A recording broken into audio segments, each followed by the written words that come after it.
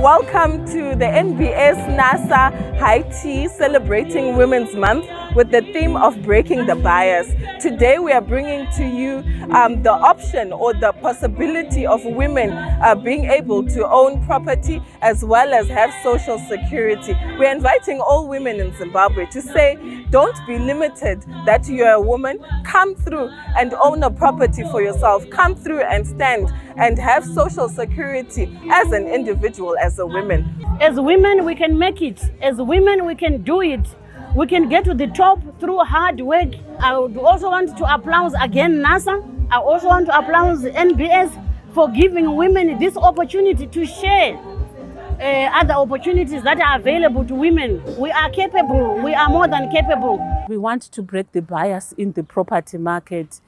Uh, in summary, we are, the agenda is to empower women and ensure that they own houses, they own property in whatever region, in whatever area they are, be it the informal or the formal sector. We are there to serve them.